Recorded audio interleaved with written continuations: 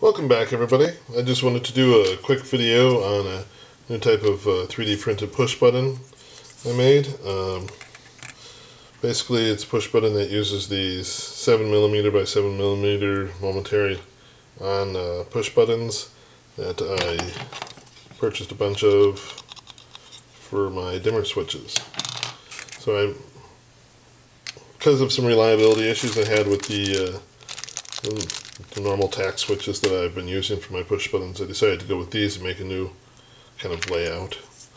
Uh, basically, they simply go in here like this. Uh, actually, we'll do the open that way. Because they're each side of the switch is separate from the other side. Basically, in this particular case, I'm going to do a, a resistor array, and then the other side will just be a trigger for uh, interrupt to read it. But uh, the way this works is they just clip in place. It's always harder when you're filming to do these things. so I got it in place here. Put the clip on here. It's easiest to get one side in first and then put the other side in and then it holds. Make sure she's straight. And in this case, the buttons basically are these little panels, kind of miniature version of my dimmer switch. They have a little tab on the end so that would go in like this first. Just pop it in place. And you have your switch. Uh, I forget exactly how I was going to arrange this. Um, I'll just. This is actually going to be for a custom TV remote. So we got on off, we got uh, basically bring up the weather, switch to the computer input, that kind of thing. It's also single one.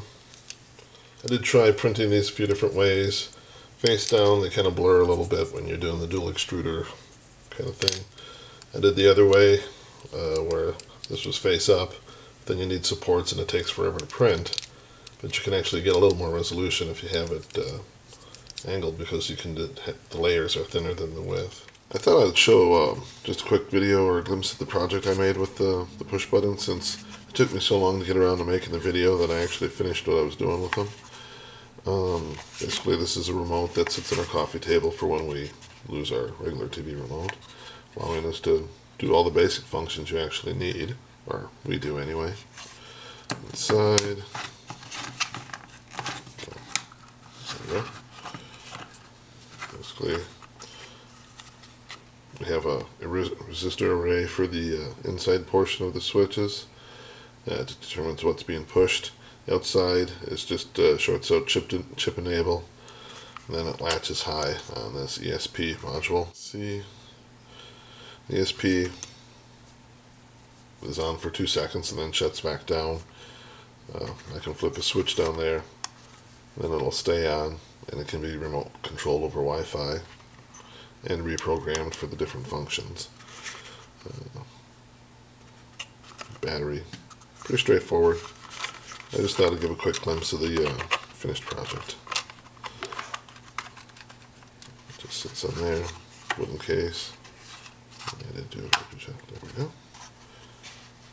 Anyway, that's a quick video on my new push button 3D printed switches. I have links below for Thingiverse and uh, My Mini Factory.